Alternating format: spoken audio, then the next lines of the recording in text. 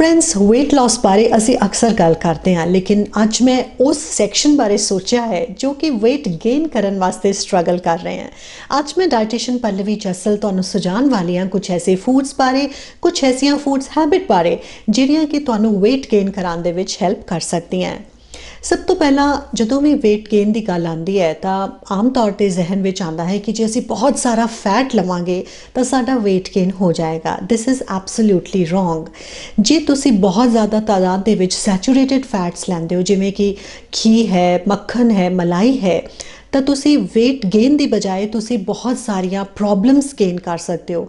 Cholesterol ਵੱਧ ਸਕਦਾ ਹੈ। ਤੁਹਾਨੂੰ ਅਨਹੈਲਦੀ ਫੈਟਸ ਲੈਣ ਦੇ ਨਾਲ ਬਹੁਤ ਸਾਰੀਆਂ ਪ੍ਰੋਬਲਮਸ ਆ ਸਕਦੀਆਂ।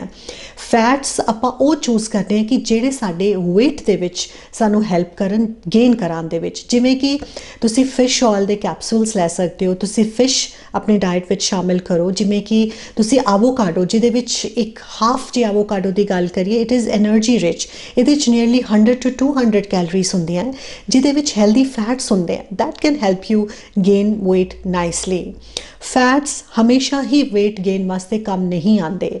ਲੇਕਿਨ ਜੇ ਆਪਾਂ ਗੱਲ ਕਰੀਏ ਪ੍ਰੋਟੀਨਸ ਦੀ, ਜੇ ਅਸੀਂ ਨਾਰਮਲ ਇਨਸਾਨ ਨੂੰ ਕਹੀਏ ਕਿ ਤੁਹਾਨੂੰ ਇੱਕ gram per KG body weight ਤੁਹਾਨੂੰ ਪ੍ਰੋਟੀਨ ਚਾਹੀਦਾ ਹੈ। ਸਪੋਜ਼ ਜੇ ਕਿਸੇ ਦਾ ਵਜ਼ਨ 60 ਕਿਲੋਜ਼ ਹੈ, ਜੇ ਹਾਈਟ ਦੇ ਹਿਸਾਬ ਨਾਲ ਉਹਨਾਂ ਦਾ weight ਠੀਕ ਹੈ then he needs or she needs about 60 grams of protein ਲੇਕਿਨ ਜੇ ਤੁਸੀਂ weight gain ਕਰਨਾ ਚਾਹੁੰਦੇ ਹੋ, ਤੁਹਾਡੀ ਕਿਡਨੀਜ਼ ਦੀ ਹੈਲਥ ਦੇ ਅਨੁਸਾਰ ਅਸੀਂ ਤੁਹਾਨੂੰ ਸੁਝਾਉਂਦੇ ਆ ਕਿ ਤੁਹਾਨੂੰ ਕਿੰਨਾ ਪ੍ਰੋਟੀਨ ਲੈਣਾ ਚਾਹੀਦਾ ਹੈ। ਜਨਰਲੀ ਅਸੀਂ 1.5 gram per KG body weight ਦੇ ਹਿਸਾਬ ਨਾਲ ਉਹਨਾਂ ਨੂੰ ਪ੍ਰੋਟੀਨ ਪ੍ਰਿਸਕ੍ਰਾਈਬ ਕਰਦੇ ਹਾਂ। ਲੇਕਿਨ ਸਾਰੀਆਂ ਕੰਡੀਸ਼ਨਸ ਨੂੰ ਧਿਆਨ ਵਿੱਚ ਰੱਖ ਕੇ ਇਹ ਵੀ ਬਹੁਤ ਜ਼ਰੂਰੀ ਹੈ ਕਿ ਜਿੰਨਾ ਤੁਸੀਂ ਪ੍ਰੋਟੀਨ ਲੈ ਰਹੇ ਹੋ, ਤੁਹਾਡੀ ਮਸਲਸ ਦੇ ਵਿੱਚ ਅਸਿਮਿਲੇਟ ਹੋਣਾ ਵੀ ਬਹੁਤ ਜ਼ਰੂਰੀ ਹੈ।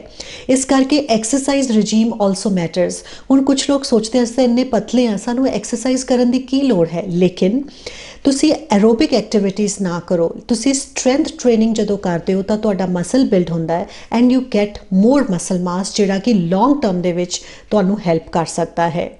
ਇਸ ਤੋਂ ਇਲਾਵਾ ਬਹੁਤ ਸਾਰੇ ਐਸੇ ਫੂਡਸ ਹੈਗੇ ਆ ਜਿਹੜੇ ਤੁਸੀਂ ਡਾਈਟ ਵਿੱਚ ਸ਼ਾਮਿਲ ਕਰੋ, ਜਿਵੇਂ ਕਿ ਸਟਾਰਚੀ ਵੈਜੀਟੇਬਲਸ ਹੁੰਦੀਆਂ ਜਿਵੇਂ ਪੋਟੈਟੋ ਹੈ, ਜਿਵੇਂ ਸਵੀਟ ਪੋਟੈਟੋ ਹੈ ਯੈਮ ਹੈ, ਇਹ ਸਾਰੀਆਂ ਸਟਾਰਚੀ ਵੈਜੀਟੇਬਲਸ ਹੈਗੀਆਂ ਜਿਹੜਾ ਕਿ ਤੁਹਾਨੂੰ ਬਲਕ ਐਡ ਕਰਨ ਦੇ ਵਿੱਚ ਮਦਦ ਕਰਦੀਆਂ ਕੰਪਲੈਕਸ ਕਾਰਬੋਹਾਈਡਰੇਟਸ ਹੋਣ ਦੀ ਵਜ੍ਹਾ ਨਾਲ ਤੁਹਾਡੀ ਹੈਲਥ ਨੂੰ ਵੀ ਇਹ ਇੰਪਰੂਵ ਕਰਦੀਆਂ। ਇਸ ਤੋਂ ਬਾਅਦ dark chocolate can help you gain weight then there are many good fats ਜਿਵੇਂ ਕਿ ਤੁਸੀਂ ਜੇ ਫਲੈਕਸ ਸੀਡਸ ਲੈਂਦੇ ਹੋ ਜਿਵੇਂ ਕਿ ਅਲਸੀ ਲੈਂਦੇ ਹੋ ਉਹਦੇ ਵਿੱਚ ਓਮੇਗਾ 3 6 ਹੁੰਦੇ ਆ chia seeds watermelon seeds pumpkin seeds ਇਹ ਸਾਰੀਆਂ ਚੀਜ਼ਾਂ ਤੁਹਾਡਾ weight gain ਕਰਾਉਣ ਦੇ ਵਿੱਚ ਤੁਹਾਡੀ ਹੈਲਪ ਕਰ ਸਕਦੀਆਂ ਇਸ ਤੋਂ ਇਲਾਵਾ ਬਹੁਤ ਜ਼ਰੂਰੀ ਹੈ ਕਿ ਤੁਸੀਂ ਕਿਵੇਂ ਖਾਂਦੇ ਹੋ ਕੀ ਖਾਂਦੇ ਹੋ ਪ੍ਰੋਟੀਨ ਤੁਸੀਂ ਖਾਣਾ ਹੈ ਫੈਟਸ ਦੀ ਆਪਾਂ ਗੱਲ ਕਰ ਲਈ ਕੰਪਲੈਕਸ ਕਾਰਬੋਹਾਈਡਰੇਟਸ ਦੀ ਆਪਾਂ ਗੱਲ ਕਰ ਲਈ ਲੇਕਿਨ ਤੁਸੀਂ ਥੋੜੇ ਥੋੜੇ ਮੀਲਸ ਜਿਹੜੇ ਹੈਗੇ ਆ, ਉਹ ਰੈਗੂਲਰ ਇੰਟਰਵਲ ਤੇ ਖਾਓ ਔਰ ਕੋਸ਼ਿਸ਼ ਕਰੋ ਕਿ ਹਰ ਮੀਲ ਦੇ ਵਿੱਚ ਇੱਕ ਹੈਲਦੀ ਸੋਰਸ ਆਫ ਪ੍ਰੋਟੀਨ ਹੋਵੇ ਔਰ ਇੱਕ ਹੈਲਦੀ ਸੋਰਸ ਆਫ ਫੈਟ ਹੋਵੇ। ਜਿਵੇਂ ਕਿ ਜੇ ਤੁਸੀਂ ਦਹੀਂ ਖਾ ਰਹੇ ਹੋ, ਤਾਂ ਤੁਸੀਂ ਉਹਦੇ ਵਿੱਚ ਥੋੜਾ ਜਿਹਾ ਪੀਨਟ ਬਟਰ ਐਡ ਕਰ ਸਕਦੇ ਹੋ ਜਾਂ ਤੁਸੀਂ ਥੋੜੇ ਜਿਹੇ ਸੀਡਸ ਐਡ ਕਰ ਸਕਦੇ ਹੋ। ਤੁਸੀਂ ਦਹੀਂ ਦੇ ਪ੍ਰੋਬਾਇਓਟਿਕਸ ਦਾ ਫਾਇਦਾ ਤਾਂ ਲੈ ਹੀ ਲਿਆ, ਲੇਕਿਨ weight gain ਦੇ ਵਿੱਚ ਤੁਹਾਡੀ ਇਹ ਸਾਰੀਆਂ ਚੀਜ਼ਾਂ ਤੁਹਾਡੀ ਹੈਲਪ ਕਰ ਸਕਦੀਆਂ। ਜੇ ਤੁਸੀਂ ਨਾਰਮਲ ਰੋਟੀ ਖਾ ਰਹੇ ਹੋ you try to add some besan into it ਥੋੜੇ ਜੇ ਉਹਦੇ ਵਿੱਚ ਤੁਸੀਂ ਗ੍ਰੀਨ ਲੀਫੀ ਵੈਜੀਟੇਬਲਸ ਪਾ ਲੋਗੇ ਤਾਂ ਜੇ ਬੇਸਨ ਪਾਉਂਦੇ ਹੋ ਤਾਂ ਉਹਦੇ ਨਾਲ ਉਹਦਾ ਪ੍ਰੋਟੀਨ ਕੰਟੈਂਟ ਜਿਹੜਾ ਹੈ ਉਹ ਵੱਧ ਜਾਂਦਾ ਹੈ। ਤੁਸੀਂ ਸੋਇਆ ਫਲਾਰ ਪਾ ਸਕਦੇ ਹੋ, ਜਿਹਦੇ ਨਾਲ ਕਿ ਹਰ ਮੀਲ ਦੇ ਵਿੱਚ ਤੁਸੀਂ ਕੁਝ ਨਾ ਕੁਝ ਐਡ ਔਨ ਪ੍ਰੋਟੀਨਸ ਕਰ ਸਕਦੇ ਹੋ। Then there are some bars ਜਿੱਦਾਂ ਕਿ એનર્ਜੀ ਬਾਰਸ ਹੁੰਦੀਆਂ ਪ੍ਰੋਟੀਨ ਬਾਰਸ ਹੁੰਦੀਆਂ, ਜੇ ਤੁਸੀਂ ਬਾਰ-ਬਾਰ ਨਹੀਂ ਖਾ ਸਕਦੇ then they can come to your rescue ਤੁਸੀਂ ਓਟਸ ਲੈ ਸਕਦੇ ਹੋ। ਓਟਸ ਨੂੰ ਤੁਸੀਂ ਹੋਰ ਹੈਲਦੀ ਬਣਾਉਣ ਲਈ ਤੁਸੀਂ ਉਹਦੇ ਵਿੱਚ ਬਹੁਤ ਸਾਰੀਆਂ ਜਿਵੇਂ ਰੇਜ਼ਨਸ ਪਾ ਸਕਦੇ ਹੋ ਥੋੜੇ ਜਿਹਾ ਆਮੰਡ ਦਾ ਪਾਊਡਰ ਪਾ ਸਕਦੇ ਹੋ। ਇਸ ਸਾਰੀਆਂ ਚੀਜ਼ਾਂ ਜਿਹੜੀਆਂ ਹੈ, ਉਹ ਤੁਹਾਡੇ ਹਰ ਮੀਲ ਨੂੰ protein rich and good fat rich food ਬਣਾ ਸਕਦੇ ਆ ਤੁਸੀਂ ਪੀਨਟ ਬਟਰ ਖਾ ਸਕਦੇ ਹੋ ਥੈਟ ਇਜ਼ ਹੈਲਦੀ ਫੈਟ ਜੇ ਤੁਸੀਂ ਹੋਰ ਫੈਟਸ ਆਪਣੀ ਡਾਈਟ ਵਿੱਚ ਸ਼ਾਮਿਲ ਕਰਨਾ ਚਾਹੁੰਦੇ ਹੋ, ਤਾਂ ਤੁਸੀਂ ਚੀਜ਼ ਲੈ ਸਕਦੇ ਹੋ।